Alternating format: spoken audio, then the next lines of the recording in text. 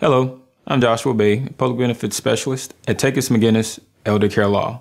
One myth we hear in our offices, what I give to my family is protected from the state, right? The answer is, it depends. When did you make the gift?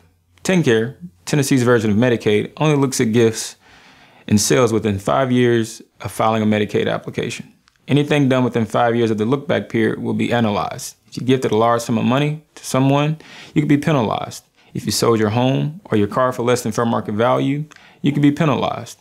If you added someone to your bank account or deed, you could be penalized. What constitutes a large sum of money?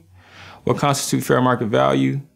These answers are complicated, which is why we stress the importance of planning ahead of a crisis with a professional who knows the TennCare rules and regulations. If you find yourself in a crisis, giving away assets is not the answer.